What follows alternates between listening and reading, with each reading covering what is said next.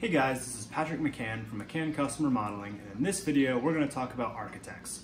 When you need one, how to find a good one, and what they charge for your home remodeling project. So let's get into it. So the first thing to know is when do you actually need an architect? And basically the simple answer to this one is whenever your project has load-bearing walls or is new construction. So this is everything from carports, garages, home additions, uh, garages in the backyard, uh, say you're building a new house, or taking out any load-bearing walls, or covered decks and sunrooms, for example.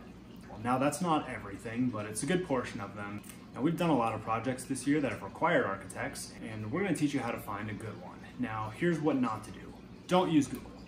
And the reason for that is because um, there are a lot of good architects in the world and there are a lot of bad ones. And we've used quite a few of them over the years that we've been in business. And what we've found is that Google's not necessarily the um, most efficient way to find one because there are a lot of architects that are really high quality but with bad marketing so you can't find them.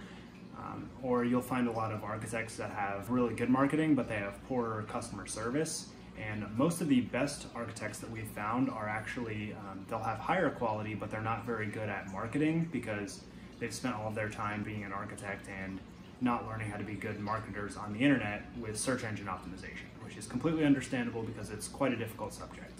And because of that, we found out that the best way to hire an architect is actually to go through realtors or use a home remodeling company and ask them because they have more experience with finding an architect that they were able to use more than one time successfully. And that's very important because everybody can have a good day or a bad day. It's more or less um, how do you find an architect that will perform on a consistent basis? That way you know that your project is going to go properly. So asking an experienced remodeler or an experienced real estate agent is actually the number one way that we've found to find an architect to successfully do your project.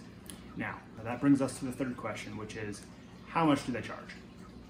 Now, obviously, this varies by um, city, by location in the United States, but we found, and well, and some will also charge by a percentage of the project. But the number one architect that we've used for quite a few years now, and we've actually given, um, we've actually sent four of our clients over to him this year. He generally charges somewhere in between one to four thousand per project, and that depends on the scope of the project and the specifications of the project. Now, a lot of architects will also charge based on a percentage of your budget for the project. So, say if you are doing a sunroom and it costs say forty-five, fifty thousand dollars, then they might charge you say five percent of that for two thousand, twenty-five hundred, something like that.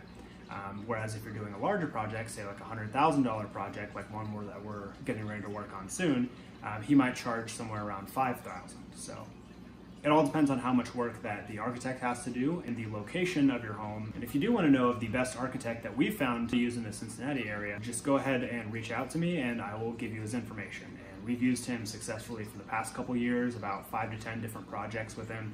And every single time the homeowners that we've sent to him have loved him. It's worked out great. And we've basically found that his quality and customer service experience has been good enough to send our clients to him repeatedly. So uh, if you want his information, just go ahead and reach out to me and I'll send it to you in an email. That about sums it up. So thanks for watching guys. Talk to you soon.